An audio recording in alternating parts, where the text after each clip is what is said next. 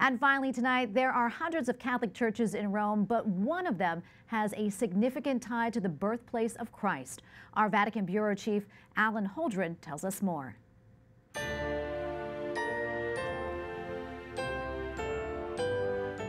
Rome's Basilica of St. Mary Major is connected as no other church outside of Bethlehem itself with the Nativity of Jesus. It keeps a key relic of the first Christmas the manger.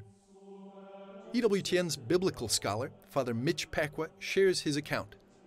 Now, when we're dealing with the manger, it's important to know a little bit about the background in Bethlehem.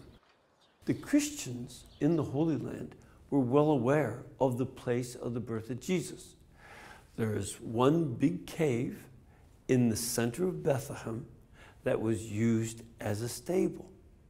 And they went there from the earliest times. Well, the Christians remembered where the cave was.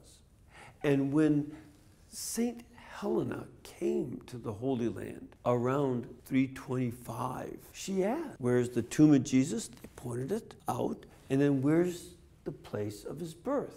And they pointed to it. Being the emperor's mother, she ordered the two pagan temples to be taken down and sure enough, under the pagan temple in Jerusalem was the Calvary and the tomb of Jesus.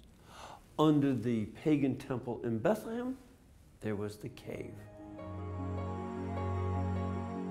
The fact that the basilica keeps the relics of the Nativity was once reflected in the very name of the church. Since the 7th century, it was also called the Basilica Santa Maria ad Presepium, which literally means Saint Mary at the crib.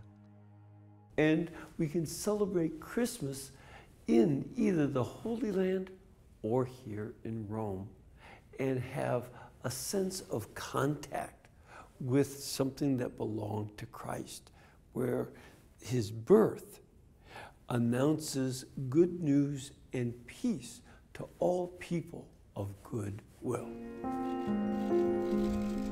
Still, last year, the president of Palestine, Mahmoud Abbas, visiting the Vatican, requested the Holy Father for the possibility of returning the relic of the Holy Manger from Rome to Bethlehem.